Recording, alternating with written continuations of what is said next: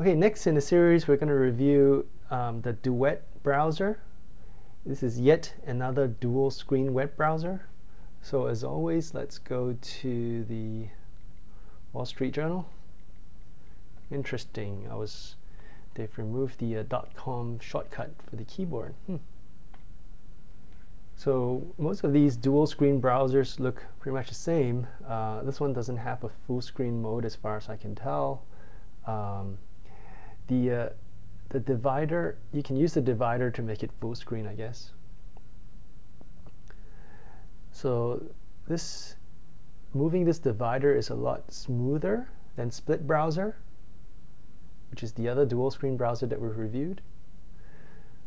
But uh, quite frankly, I'd prefer a single button to just make it full screen. Okay. Um, on the plus side, this, this thing is pretty cool because let me close that advertisement. So the good thing about it is that you can add tabs. So we could go to, let's go to YouTube. I kind of I kind of missed the dot .com shortcut in the keyboard, so I don't know why they re they removed that. Hmm youtube.com okay so this is this is cool because you can have multiple tabs within each of these windows and you can switch between them. So let's go to um, landscape. Okay so pretty much the same. Let's check out a video. Well let's look at the zoom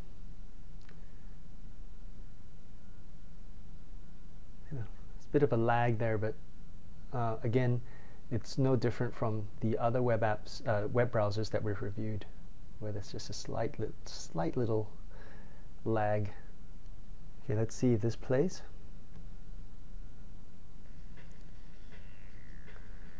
Okay, so that works well.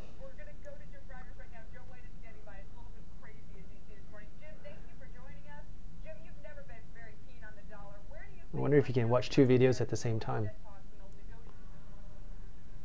Ah, so you see you can only view one video at a time, I guess. Let me stop that. Go back to here.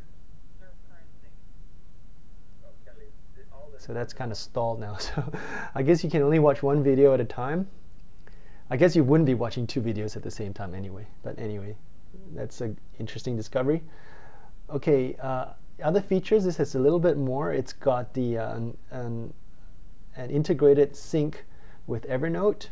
So for example, if I like this article, I can tap on the share and then I can go clip to Evernote. Okay, so if I click that, let's see what happens. So it's, it's integrated with my um, Evernote account. So this has just clipped the entire page, is not really very cool. But let's just say, so I'm trying to clip a paragraph to see whether it works. Okay. Clip to Evernote.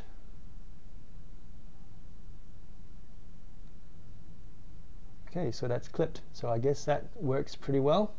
So how does Duet Browser compare to the other um, dual screen browsers that we've reviewed so far.